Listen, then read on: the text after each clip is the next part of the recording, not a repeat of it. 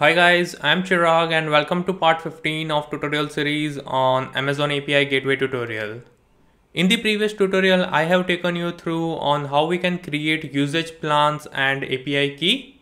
And now in this tutorial, we are going to use the API key along with the usage plan that we have created in the previous tutorial, right?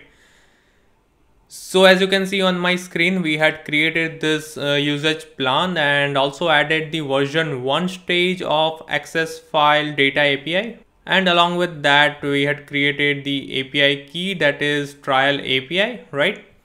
So the very first thing that we have to do is to configure the method and make the API key mandatory, right? So let's see uh, how we can do that, right? So we have the usage plan and the API key in place, right? So now navigate to resources. So click on resources from the left panel. And I want to add that API key within this method, right? That is slash path parameter is bucket with get method, right? So click on the get method, click on method request, right? Here as you can see API key required and here we have little uh, warning sign it says at least one stage of this API is associated with usage plans but an API key is not required for this method. So if you remember then in the previous tutorial we had added the version 1 stage of this API endpoint right so that's the reason it's showing this warning sign or the warning message right. So now what we will do is we will click on this pencil icon and we will change false to true and click on this tick mark right? And so uh, before we uh, deploy that API I will show you the normal invocation of this API endpoint right? So what I will do is I will go to stages just to copy the invocation URL right? So I will copy this.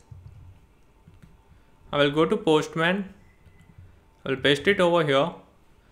So version 1 or the stage is followed by the bucket name. So that I will say upload API tutorial slash not slash followed by the query string. So that is file equal to sample.pdf, right? So what this will do is it will return the uh, pre-signed URL to upload a file, right? So I am just showing you the normal invocation before using the API key, right? Or before configuring the API key within this method. So I will say send. So as you can see, uh, it's returning something like this. The pre-signed URL to upload a file that uh, I have covered in one of the previous tutorial, right? So now uh, we will go back to API endpoint, click on resources, click on get method, click on method request and change this API key required to true, right? And once this is done, all we have to redeploy this API. So click on actions, say deploy API, select the deployment stage that is version one and say deploy, right? So now the API endpoint has been deployed. Now let's go back to Postman and try to invoke the same endpoint again. So I will simply say send. So as you can see, uh, it returned forbidden, right? Because we are not passing the API key. Now the API key is required in order to invoke this API endpoint, right? So what we have to do is we have to go to headers and we have to pass the API key, right? So how we will pass it? So let's have a look. So I will go back to API gateway. I will click on settings just to verify or check that which header uh, we have to pass, right? So within API key source, you can see that uh, configure deployments to receive API keys from the X API key header, right? So I'm going to copy this and go back to Postman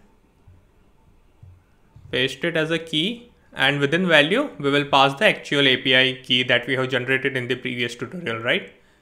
So click on API keys trial API then click on show and copy this right?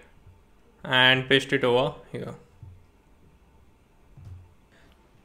So now let's try to reinvoke this API endpoint right So before we try to uh, re-invoke this API endpoint, if you remember then we had also configured the usage plan, right? So click on this usage plan and let's check. So here you can see we have set the quota for three requests per month, right? So it should only allow three invocations successfully and the fourth invocation, it should return something like limit exceeded, right? So let's have a look. So go to Postman and this is our first invocation after implementing or configuring API key, right? So I will say send and it returned the response successfully, right? The valid response with 200 status code, right? So this is our first invocation. I will click on send again. So this is our second invocation, right? And it's successful. And the third time it's successful, right? Now, if I try to invoke this API endpoint for the fourth time, it will throw an error or an exception, right? So let's try it. So now as you can see, it returned limit exceeded, right? Because I have utilized all the three invocation or all the quota that is being assigned to me as a trial user for the month. So that's how uh, you can use usage plan and API key in order to limit the access. So well, that's it for now. So this is how you can create usage plan and API key and you can use it in your own method, right? And this is how you can set the quota and limit the access for a given user. So well, that's it for this tutorial. Till that time, if you want me to do tutorial on any use case or service, then please leave them below and I will try my best to come up with the tutorial as soon as possible. And if you have any queries or comments then again please leave them below and don't forget to like and subscribe to my channel and see you next time.